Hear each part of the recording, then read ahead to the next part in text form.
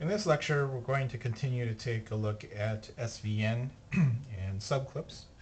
Uh, in this uh, particular uh, episode, we're going to uh, uh, download a an existing um, repository into our Eclipse environment.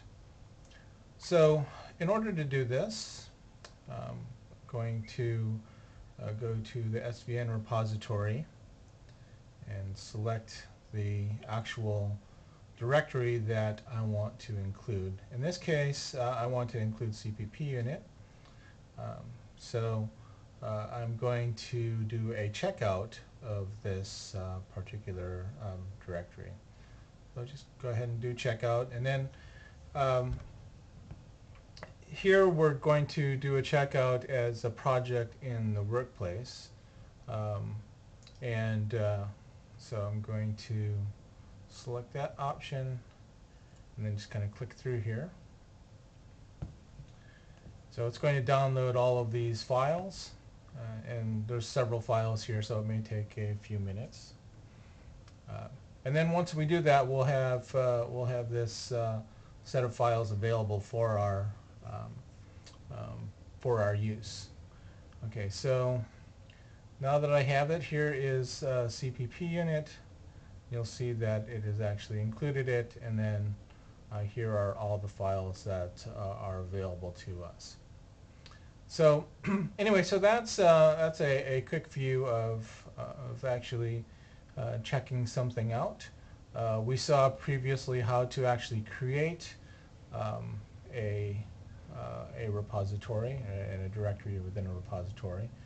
Um, we can also do a, a, number of things with these uh, once we've actually checked it out. We can make modifications um, and check those modifications in. Uh, so last time I made a mod I created assignment 01. I can actually let's create a new version number here uh, and check this in. I'm going to change hello world. It's like a new world. And so uh, you'll notice that the icon is changed here because I have made a change to the file. Uh, that indicates that there's an update that, uh, that can be made.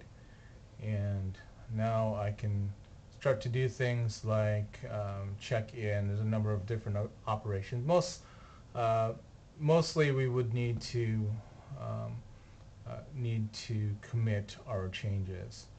Um, other things that we might want to do are things like update, uh, which uh, if there are changes that are made to the repository by someone else, then um, this uh, will allow us to uh, incorporate those changes into our repository. But here I'm just going to go ahead and commit. Change the version number.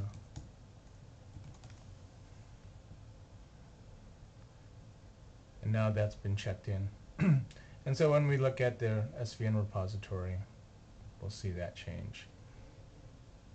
And actually, I believe that if I close this and browse through here, I will see the actual changed version, and there it is, um, 0.2. So anyway, so that's the um, that's both uh, checking out and checking in. Uh, I could do the same thing, of course, to this version that I had checked out. So I'm going to just add a comment. And when I make that change, again, the icon changes to say that there's an update that uh, uh, can be committed. And then I can do that. I can commit my change.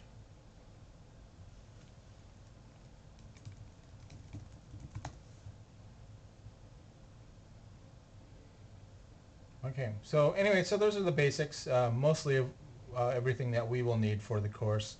Checking out files, checking in files. Um, you can all, and we won't be doing very much in the way of sharing um, of files. You will be doing, um, you will be using SVN to download some of my, um, my source that I provide to you, but mostly you'll be maintaining uh, your own SVN site. So anyway, that concludes this episode.